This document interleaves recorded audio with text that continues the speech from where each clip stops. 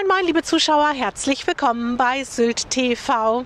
Die Integrationshilfe Sylt hatte in der vergangenen Woche interessierte Bürger zu einem Informationsabend eingeladen.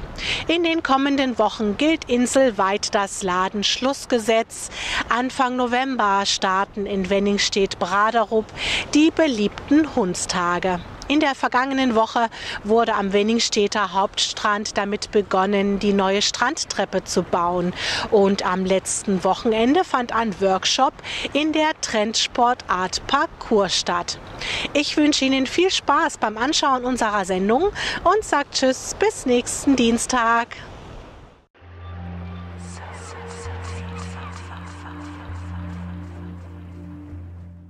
Mein Name ist Juliane von Holt. Ich stehe hier vor Ihnen für den Verein Integrationshilfe Sylt. Wir möchten Sie heute Abend sensibilisieren und auch informieren. Und wir möchten Ihnen Mut machen. Mut zum Handeln.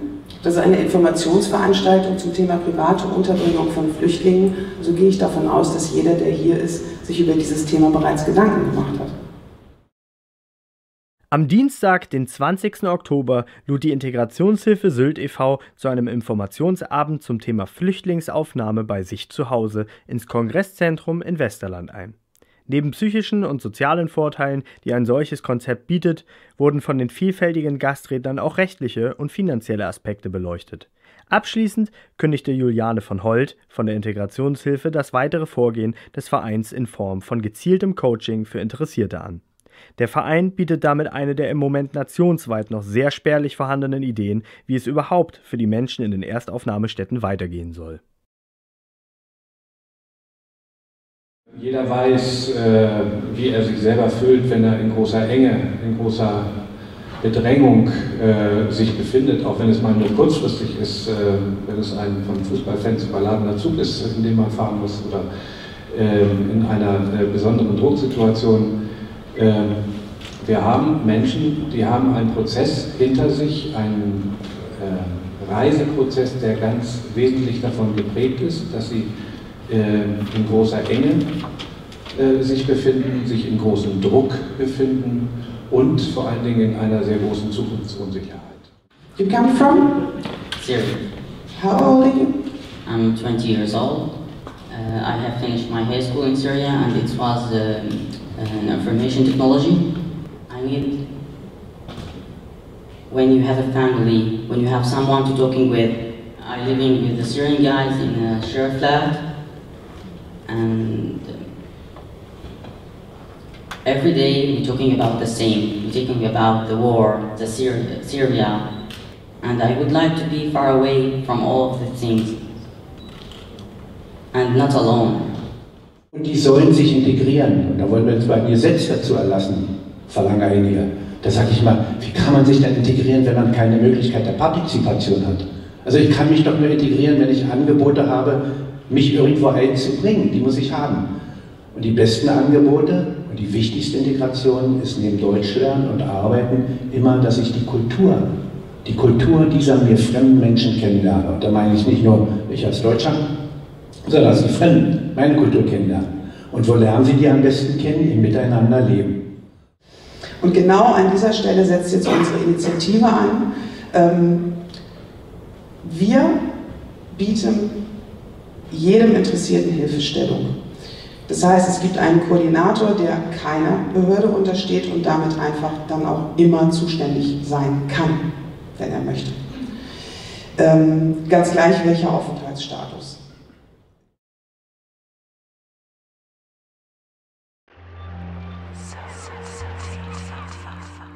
Auf Sylt gilt wie in so vielen norddeutschen Urlaubsregionen die sogenannte Bäderregelung.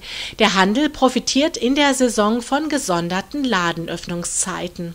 Vom 1. November bis zum 14. Dezember gilt diese Bäderregelung nun nicht mehr. Es gelten dann die Öffnungszeiten des Ladenschlussgesetzes. An Sonn- und Feiertagen müssen die Geschäfte geschlossen bleiben. Ausnahmen gelten für Bäckereien, Zeitungsläden und Blumenfachgeschäfte. Ab dem 1. November dreht sich bei den Wenningstädter Hundstagen alles um unsere vierbeinigen Fellnasen. Ein abwechslungsreiches und vielseitiges Programm mit Vorträgen, Hundetrainings, Hund- und Herrchenwanderungen, Schnüffelstunden, einem Vierpfoten-Krimi und dem Hundstage-Cup wird den zwei- und vierbeinigen Teilnehmern geboten. In der Programmübersicht auf der Homepage von Wenningstedt Praderup finden Sie die genaue terminliche Auflistung. Eine Anmeldung für die jeweiligen Veranstaltungen ist notwendig. Zudem gibt es in diesem Jahr erstmals vom Dienstag bis zum Donnerstag eine Messe rund um den Hund im Kursaal Hoch 3 mit vielen Ausstellern.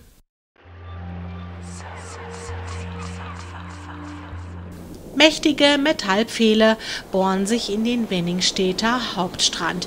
In der vergangenen Woche haben die Bauarbeiten für die multifunktionale neue Strandtreppe begonnen.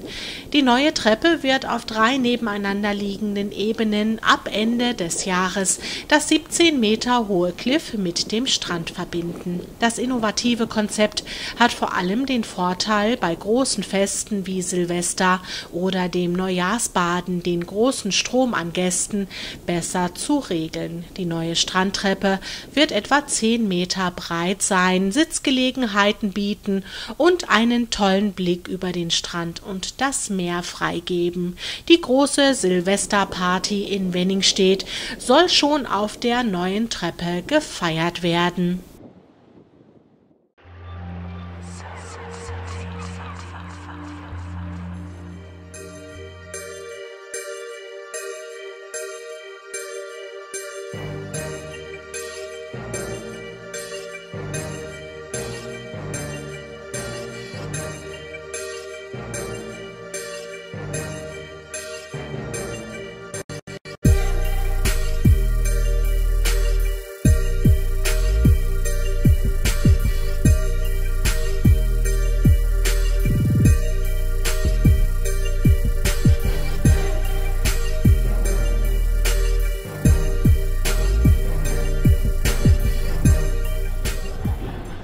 Ja, meine Damen und Herren, willkommen zu G-Sounds Entertainment, zu dem Sylter Parkour Workshop, der allererste Workshop hier auf Sylt bei uns. Ich bin Ambroise Gaglo und ich freue mich immer, wenn ihr da seid. Ich bin Thilo Assmann, 22 Jahre alt, komme aus Bremen, seit über acht Jahren im Bereich Parkour und Freerunning tätig. Da gibt es dann bestimmte Angebote, wie zum Beispiel hier jetzt auf Sylt. Wir waren neulich äh, auch in Zürich in der Schweiz und haben dort ähm, einige Kinder betreut und jetzt bin ich hier und ich guck mal, was mich dann so demnächst nochmal erwartet.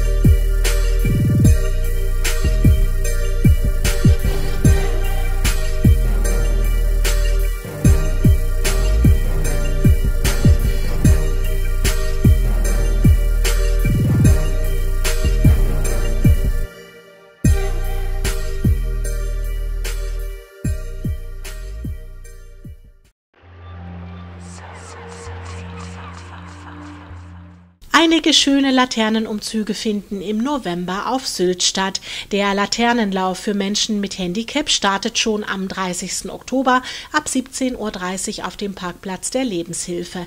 Der größte Umzug in Westerland startet am 1. November um Viertel vor fünf an der Stadtkirche. Die Tinnumer Kinder treffen sich am 7. November an der Beulonsen Grundschule und auch die Eichsummer starten am 7. November um 18 Uhr an der Feuerwache. Am 11. November findet in Morsum der traditionelle St. Martins Umzug statt. Los geht's dort um 17.30 Uhr an der Kirche. Ebenfalls am 11.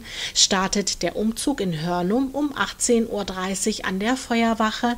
Die Kaltumer Kinder gehen am 14. November um 17 Uhr zum Laterne laufen. Los geht's dort am Kindergarten.